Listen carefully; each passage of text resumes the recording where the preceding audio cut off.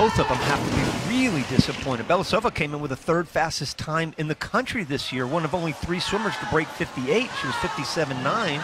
And Popov was the fifth fastest in the country at 58.2. They were nowhere near those times this morning.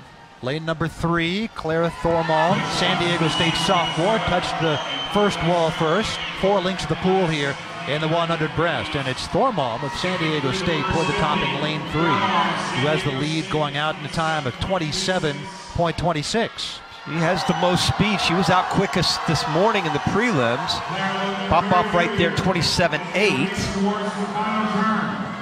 Belousova was 28 flat. Not much better than they were this morning.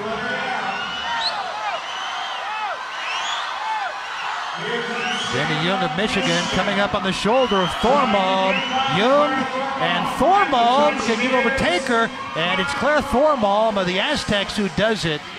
The sophomore from San Diego State wins the consolation final in a time of 58.9. And the big smile, one of the reasons she wins the console, but I think even bigger, she goes under 59. That's a barrier.